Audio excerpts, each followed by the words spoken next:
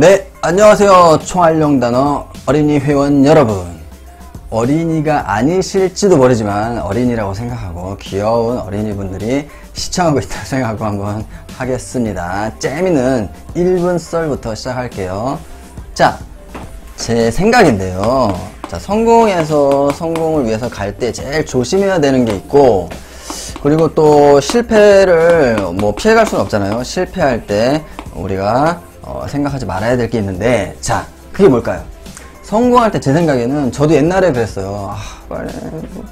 아, 이것만 하면, 이것만 하면 빨리. 자, 바로 뭐냐면요. 조급함이죠. 조급함. 아, 이거 빨리 해가지고 인정받고 싶고, 어, 엄마가 잔소리 자꾸 하시는데, 아, 잔소리 좀 못하게 좀, 어, 용돈 좀 팍팍 드리고 싶고, 아, 엄마 나 이렇게 했단 말이에요. 이렇게 조급해지게 되거든요. 조급하면 조급할수록 실수가 많아지고, 어, 여러 가지 상황을 제대로 살피지 못하게 되기 때문에 더 시, 어, 성공과는 점점 점점 더 멀어지는 것 같아요. 그래서 지금은 좀 반대로 하고 있습니다.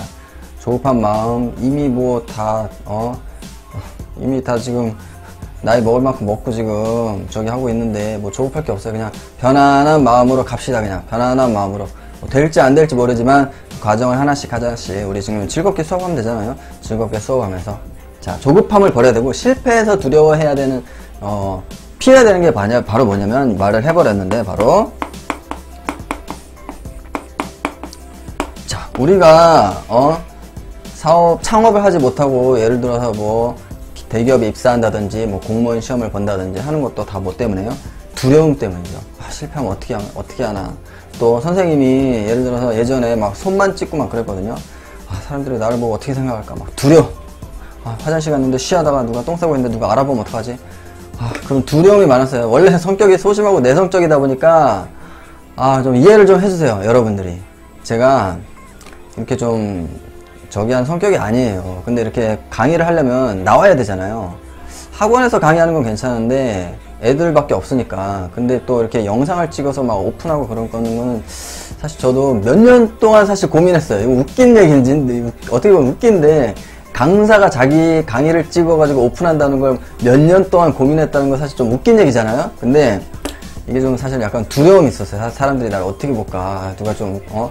길거리에서 알아보면 어떻게 알아보긴 뭘 알아봐 오픈해놔도 뭐 보지도 않더만 사실 쓸데없는 두려움이 되게 많아요. 쓸데없는 두려움 걱정 두려움. 이게 되게 많죠 보통 사람들은.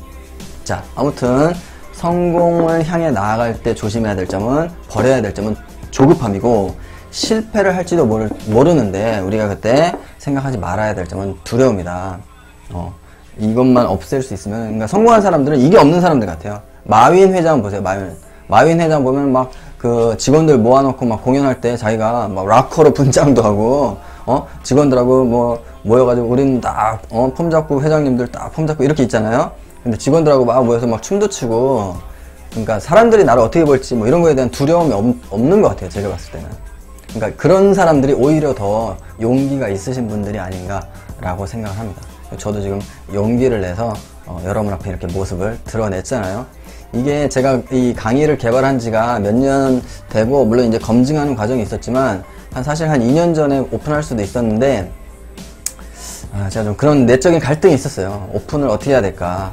아, 근데 그거를 이제 고민하다가 지금 공개하는 거니까 여러분들께서 예쁘게 봐주시기 바래요. 아, 지금 액, 액 이거 하고 계신 분 있는 거 아니야? 자, 오늘의 1분 썰이었습니다.